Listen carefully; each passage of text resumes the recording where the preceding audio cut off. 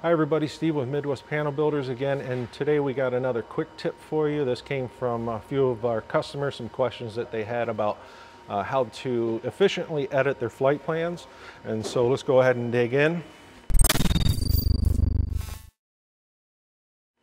So I'm going to use an example that I just recently had for myself flying from my home airport in Lapeer, Delta 905, up into uh, Harbor Springs and so if we took a direct line to the airport, we had to deal with some airspace right here, this restricted airspace that uh, was active at the time, so we couldn't fly through it.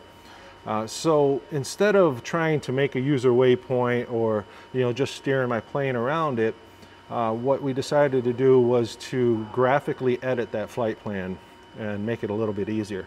So what we would do is we would hit the menu button. Now right now I don't have the option there, okay? It would normally be right here. So if you don't see it, the reason why you don't see it is because you are navigating with the external navigator if you have one, okay? If you don't have the external navigator, you'll always be on internal. But we come over to the flight plan page and we can see here that I'm on the external GPS.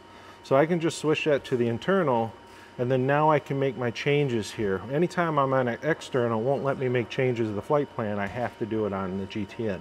So we can just bring it over, use the internal, and I can either do it here, edit on map, or we can go back to the map that I was on, and we can do it here as well.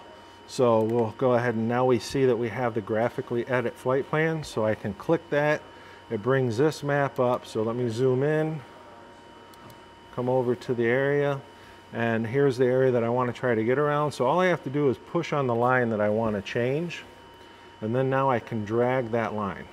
So we'll get that line outside of the area, let go. It asks if I want to make a user waypoint. We'll go ahead and make that a user waypoint. We could name it, you know, do whatever it is that we want to do and then hit OK. Now we've changed that flight plan.